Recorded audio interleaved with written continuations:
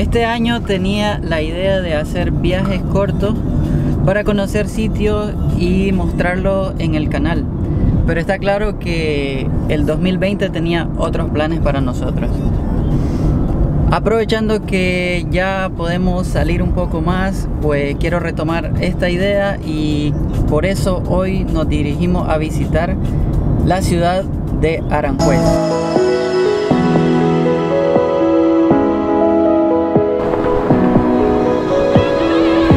Y llegamos a la ciudad de Aranjuez, una ciudad al sur de Madrid, como dije, eh, una ciudad que tiene muchísima influencia de los reyes, aquí hay mucha historia de reyes todo el tiempo, eso se puede ver en su arquitectura, en sus plazas, en sus iglesias, en los parques. Vamos a hacer un recorrido, hoy voy a estarles mostrando algunos parques principales como el Parque del Príncipe, eh, el Palacio de Aranjuez, que es uno de los más grandes y más bonitos de toda España. Estoy en la Plaza San Antonio. A mi espalda acá la iglesia con el mismo nombre es dedicada a San Antonio de Padua.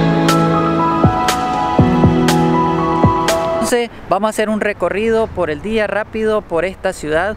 Eh, debo decir que mis primeras impresiones es que es una ciudad pero con un toque como es algo bastante pequeño, hay, no hay edificios así como que muy enormes. Se puede observar en su arquitectura eh, la influencia, como decía, de la monarquía. Aquí hay muchos palacios como el que vamos a visitar, parques que son segundas residencias o que en algún momento han pertenecido o pertenecen aún a la monarquía actual, ha pertenecido a reyes a través del tiempo. Así que sin más vamos a empezar el recorrido. Acompáñenme a visitar esta hermosa ciudad de Aranjuez.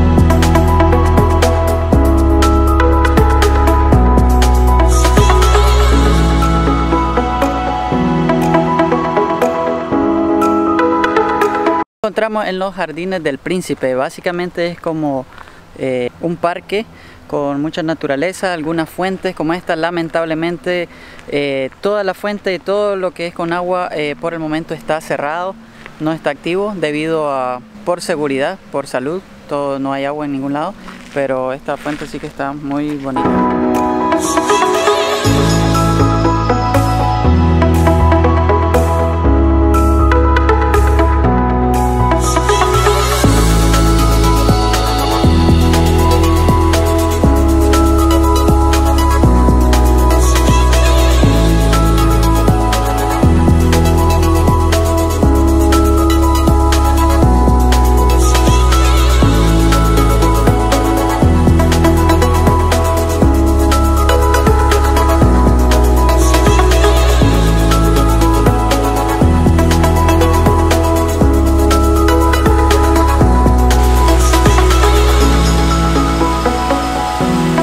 Final no todos los sitios con agua están cerrados totalmente. Este sitio está abierto, tiene agua, pero hay una valla acá que no te deja entrar. Normalmente podrías ir por ese camino de allá y entrar y estar en medio, como acá.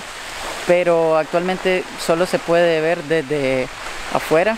Está esa valla que no te deja entrar. Pero bueno, al menos podemos disfrutar de esta fuente tan, tan bonita.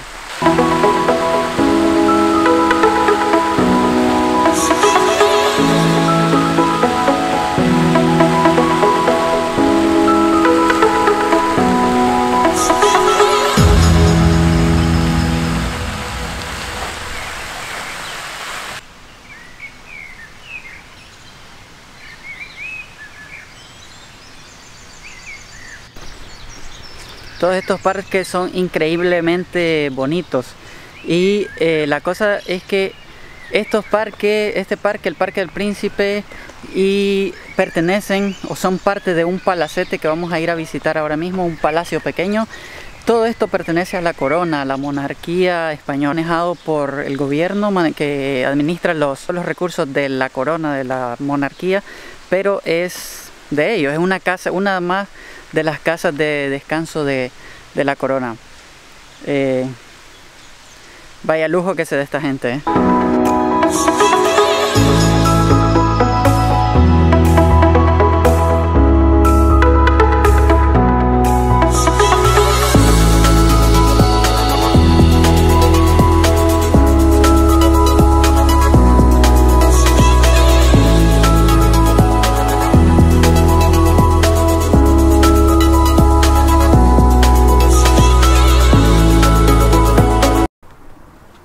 Como les decía, este es un palacio pequeño, lo llaman un palacete. Eh, normalmente es una casa opcional de descanso de la monarquía. Está dentro del parque que estamos visitando ahora, es parte del parque, pero actualmente es más como de turismo, de visita. Eh, observo que está cerrado y hasta lo noto un poco como abandonado, no sé la verdad eh, si es por la situación actual o desde cuando estaba cerrado, pero bueno, eh, vamos a conocerlo desde afuera al menos.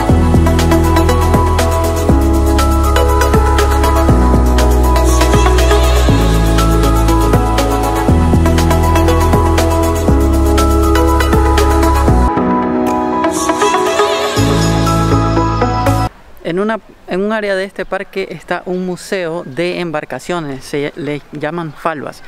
Eh, lo que significa, en este, en este parque hay un río a la par y a la par había un embarcadero originalmente. Entonces, aquí en este museo están embarcaciones que utilizaron los reyes. Eh, muchas embarcaciones, todas son reales, son representaciones reales de embarcaciones que fueron utilizadas eh, por los reyes. Entonces voy a intentar, vamos a entrar. No está permitido grabar ni tomar fotos. Eh, pero intentaré usar mi pequeña camarita para ver si puedo sacarles algunas imágenes y compartirlas con ustedes.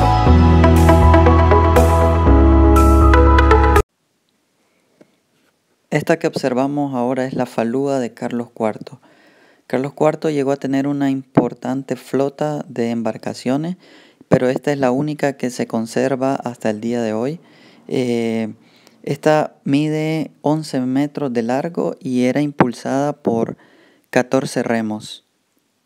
Esta flota el rey Carlos IV la inició en su año de que aún era príncipe de Asturias.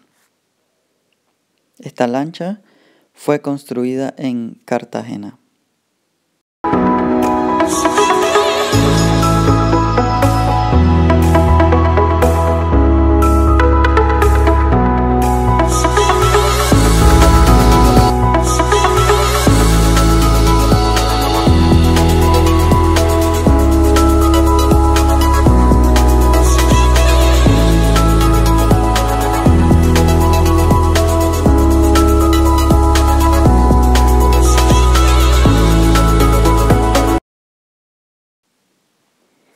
Esta es la góndola napolitana de Carlos II. Esta es la góndola más antigua que se conserva hasta el día de hoy. Esta góndola mide cerca de 17 metros de largo.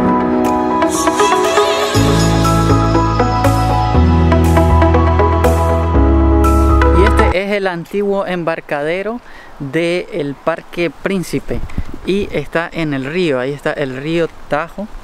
Eh, entonces, en este río eh, era donde utilizaban esas embarcaciones que acabamos de ver. Acá venían los reyes, eh, los príncipes y embarcaban en esta zona y podían navegar eh, por, este, por este río.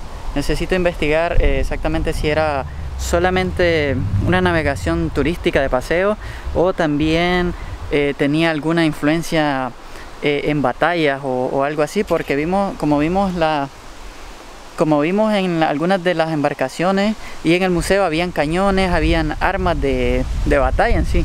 Y también estoy viendo que esto es muy típico de los embarcaderos donde se colocan cañones y se defiende un puerto o en este caso este embarcadero.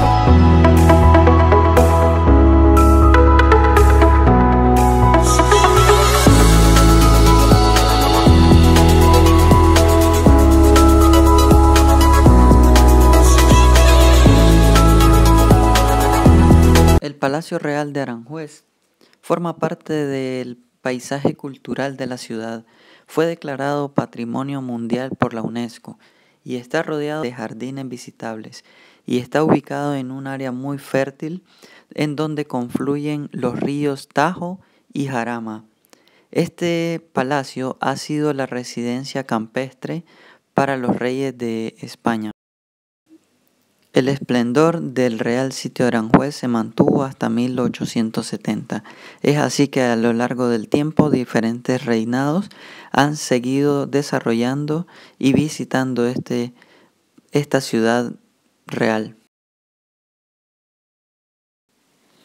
Hasta aquí el video de hoy. Espero han disfrutado mucho el recorrido. No olviden suscribirse y nos vemos muy pronto desde otro rinconcito de Madrid.